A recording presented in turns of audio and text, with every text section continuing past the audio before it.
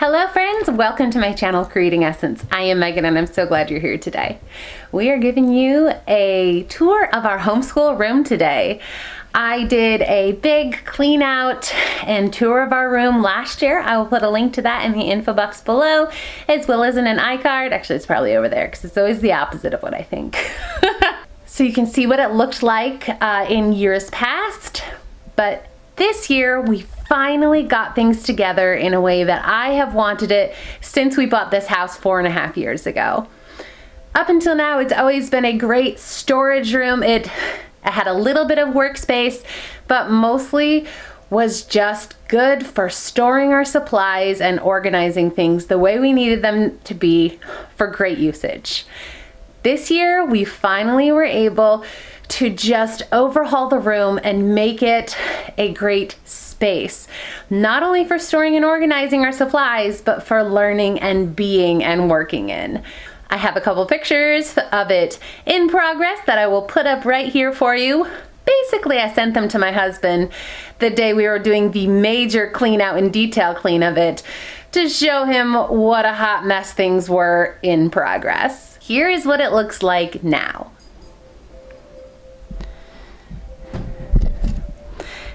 The biggest change is probably the futon we have here. We wanted to have a great space for people to stay when they visited. So I did a whole lot of shopping, review reading, and I found a really highly recommended, well-reviewed futon. We also got a memory foam topper for when it does become a bed to give it a little extra comfort, but it is a really nice futon that reviews say hold up well over the long haul. So I was really excited about that. Another big change is this big mama jama of a cube organizer. Now this little guy over here, we have had for about 11 years now. And we have loved it so much and found it so handy and useful that we decided to get another one. When I was shopping for them, I saw the big one.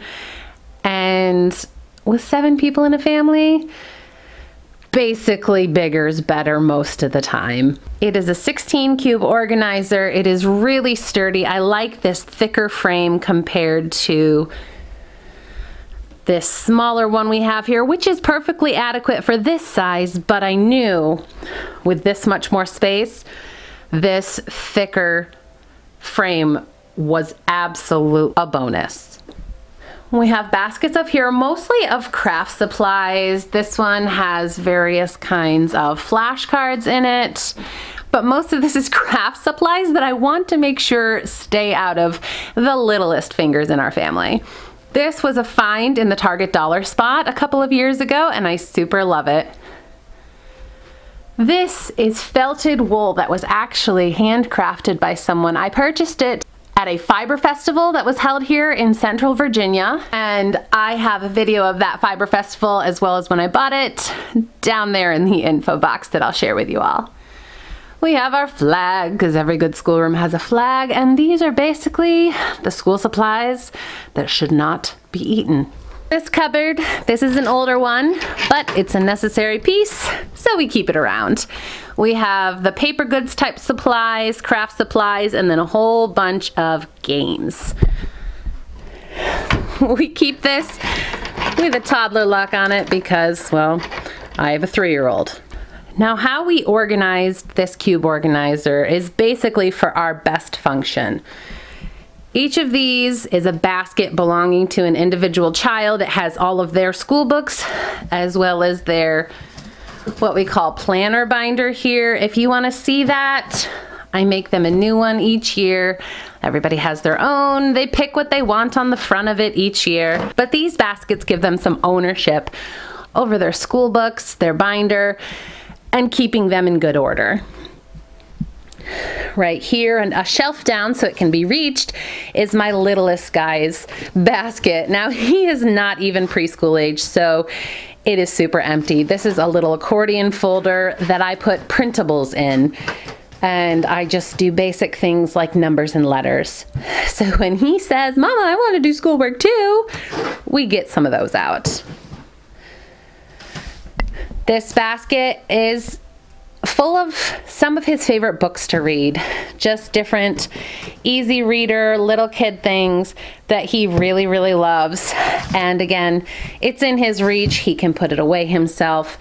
And it just helps him to know that things have a place. This, these are some random supplies we use regularly, like moon sand and some workbooks. The, this has puzzles in it that the kids can get out and play with regularly.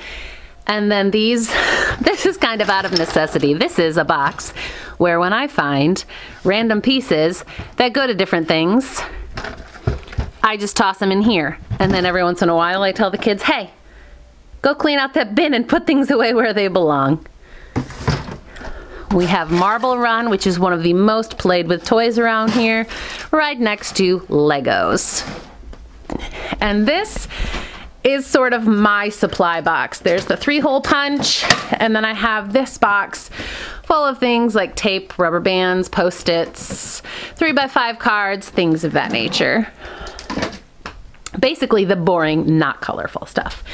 And then the bottom is still empty. If you can imagine, we didn't even fill it up. Right here by the door is what we call our group subjects basket.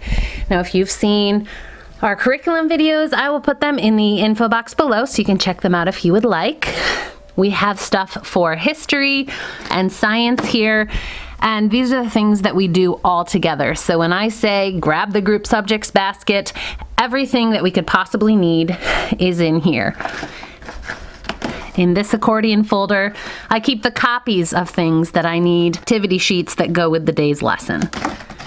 Coming around here, we have our maps on the walls, of course. And then on this rainbow cart, we have up here three boxes of colored pencils and pencils. These, these are folders of our Compassion Kids that we sponsor through Compassion International, and we do a lot of stuff incorporating them with our schoolwork the book stand for typing lessons. And then each of these drawers has a different sort of thing in it. This is my corrections books, the teacher keys to texts. These are our music books, clipboards. These are the painting books and things for the little kids. These are stickers of all kinds. This is kind of random things like highlighters, rulers, erasers, protractors. These are math manipulatives. These are just little workbooks that we got mostly from the from the Target dollar spot, but workbooks that are for all ages for us to draw from at times. We have our typing curriculum books headphones. These are our wipe clean books. We have them on all sorts of different subjects. They're basically like books made of dry erase board and they have dry erase markers so they can be used over and over and over again. And then the next level of all about spelling that we'll need in the future. Over here on this cube organizer we have our history books. These are have all different subjects, but they are specifically related to history topics. Same here, but science. On this we have activity books, whether it's origami or science experiments or paper dolls, things like that. And then we have some language and grammar reference books. Over here we have Play-Doh toys. These are some more bigger reference books like our Southwestern Advantage uh, math books, Tales of Famous Heroes, Biblical World Atlas, Encyclopedia of World History, and then our next uh, history curriculum we'll be using. In this cube we have what's called the preschool bin. These are all sorts of manipulatives and things for my preschool age slash toddler son to just stay busy with when he needs some distraction when the rest of us are busy. And then some really easy reader type of books. That one is empty. That one is DVDs and games. And this is actually a huge bag of seashells of all kinds and sand because we love to vacation to the beach and we always bring these home and use them for all kinds of projects and they just needed their own box. We have our big bookshelf with our abacus and globe on top. We have our all about spelling curriculum, some reading curriculum books, and then just all different books on all the different shelves. And on the bottom here, we have our coloring and painting books that the kids can use anytime. And this is a box that is kind of our in progress box. If we're doing something and we don't have time to finish it, we just put whatever we're working with in here and slide it there and it's put away for now. We have our coffee table here, which has a stepper under there that pulls out and is the perfect little seat for a nice low or squatting workspace. And of course we have the futon. Up here, I found this at Joann Fabrics in their spring clearance. It is a whiteboard calendar, but it's made of glass, so it's not gonna stain or scratch, and it cleans off so much easier. This was like $55 regular price, and I got it for 10, so I was really excited about that. And then we just have a good old fashioned wall clock up here because I don't want my kids to only know how to read digital, basically. And we have a very inexpensive stand lamp that has been around for years.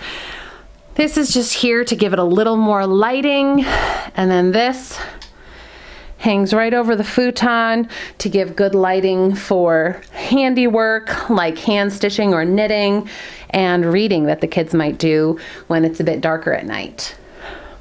then up here we have more of these adorable wool felt creatures. I don't know if you can see with the backlighting, but this is an adorable pufferfish. And then we have a mobile with some jellyfish. And this guy is a super cool octopus. And they're all hanging from up there in front of the window. And that is it for our homeschool room tour. I'm so excited with how this turned out and how we were able to really minimize, get rid of a lot of the excess stuff that we were keeping around just in case and make it into a much more functional room for our family. It was such a long time that we did not even have a schoolroom. We just had a hutch in our dining room where we kept all of our school supplies. And I am so grateful for this extra space now because I know not all families, especially not all large families, have this luxury. Thank you all for sticking around today, my friends. I would love to hear how you have your homeschool supplies set up? Is it in your dining room or your living room or do you have a dedicated schoolroom like us? If you like this video, please give us a thumbs up. It tells YouTube we are making good content, so they'll show us to other people. And subscribe to our channel to hang out for more. We'll see you again tomorrow.